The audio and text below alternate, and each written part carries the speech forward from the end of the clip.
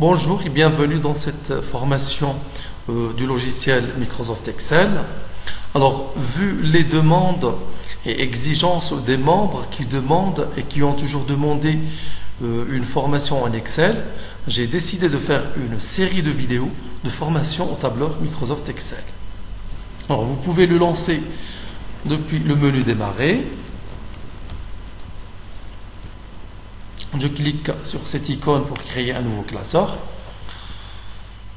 Euh, le logiciel Excel est un tableur qui permet de créer des tableaux, comme vous voyez, et bien plus encore. Il intègre des fonctions de calcul numérique, euh, des fonctions mathématiques, euh, des fonctions de finance, de statistiques, etc.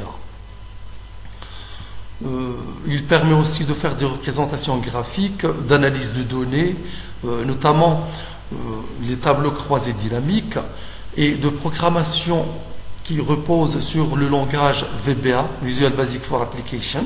Vous pouvez utiliser la, combinaison de touches Alt F11 pour lancer Microsoft Visual Basic. Et là, vous pouvez cliquez sur Insertion User Form pour utiliser la, programmation graphique, ou bien sur Insertion Module pour utiliser du langage ou bien le langage VBA, etc. Euh, donc, en résumé, le, logiciel Excel, il permet de faire énormément de choses. Il est donc euh, un logiciel incontournable, largement utilisé, que ce soit par les particuliers ou les professionnels d'entreprise, etc. Donc, sans trop parler, nous allons commencer tout de suite. Alors, ce que vous voyez devant vous, c'est un tableau qui contient des colonnes.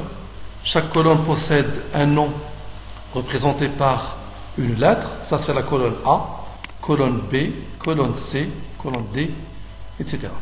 Et chaque ligne est numérotée. Ça, c'est la ligne numéro 1, ligne numéro 2, ligne numéro 3, etc.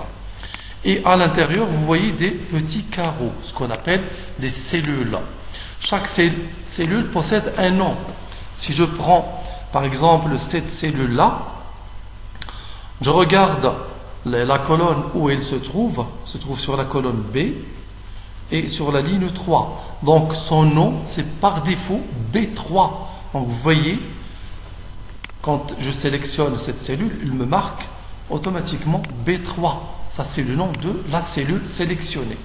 Si je sélectionne celle-ci, par exemple, elle se trouve sur la colonne C et sur la ligne numéro 2. Donc, son nom, c'est C2.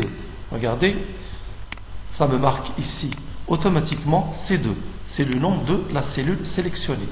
Donc, pour déterminer le nom d'une cellule, je prends une cellule quelconque, on regarde la colonne où il se trouve et la ligne sur laquelle il se trouve.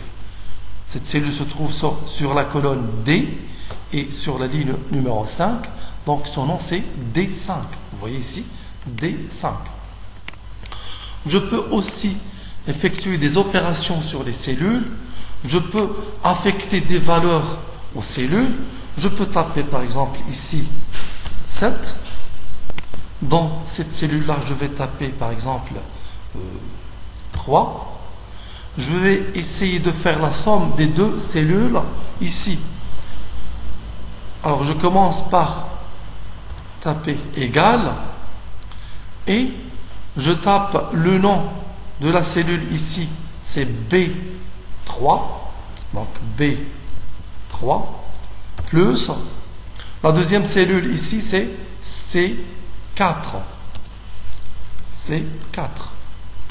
Et ça me donne 10. Et vous voyez ici, quand je sélectionne cette cellule-là, sa valeur c'est 10, mais sa vraie valeur c'est la somme des deux cellules, B3 et C4.